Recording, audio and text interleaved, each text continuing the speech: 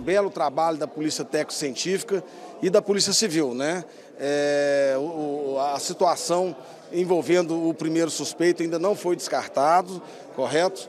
É, tivemos essa reviravolta de forma rápida, já estamos com o segundo suspeito preso, né, no qual foi confirmado através de DNA, ele é confesso, né, inclusive esteve mostrando onde foi o local do crime e mais uma vez a Secretaria de Segurança Pública, através da Polícia Civil, da Polícia Técnico Científica, deu uma resposta rápida à sociedade. Esse primeiro suspeito não foi descartada a participação dele nesse crime também?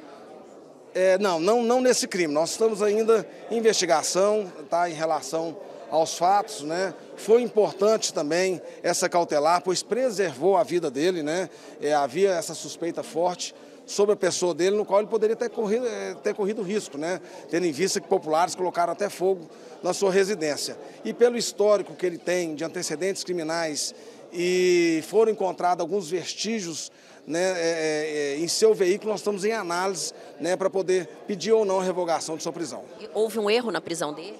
Não, não, não houve um erro. Né? Nós tínhamos elementos é, substanciais, né, no qual foi pedida a prisão cautelar e foi atendida.